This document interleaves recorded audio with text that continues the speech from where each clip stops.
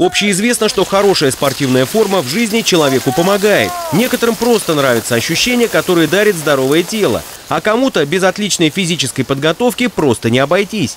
К последним относятся и полицейские – Поэтому в Межмуниципальном управлении МВД России Одинцовская за физподготовкой своих сотрудников следят очень внимательно. Для контроля постоянно проводятся спортивные мероприятия. Одно из них – зимняя лыжная гонка, посвященная Дню защитника Отечества. В этих соревнованиях участвуют представители от каждой службы, от каждого отдела. Команда двое мужчин, одна женщина. Вот. Э, мужчинам здесь э, предполагается пробежать 5 кругов, а женщинам 3 круга.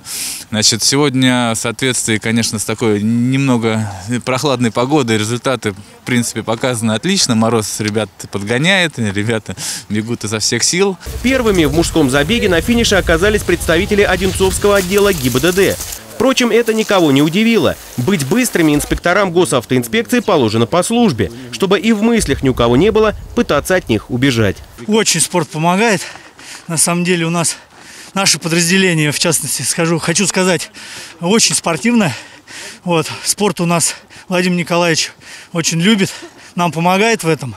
Вот, здоровый образ жизни, здоровый дух.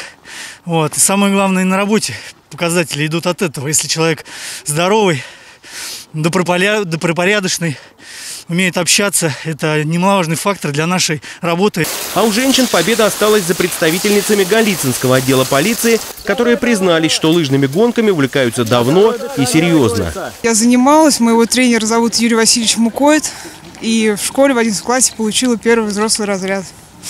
Выступала на соревнованиях лыжных в Красногорске, в Подольске на России, представляла Маловеземскую школу. Сейчас вот Голицынский отдел полиции. К слову сказать, именно эти подразделения ОГИБДД и Голицынский отдел заняли в лыжной гонке, соответственно, первое и второе места. А на почетном третьем разместился первый городской отдел полиции. Следующее большое соревнование – кросс в Одинцовском управлении запланировано на май. Оно пройдет на центральном стадионе города и будет посвящено Дню Победы. Петр Горохов, Станислав Трифонов, телекомпания «Одинцова».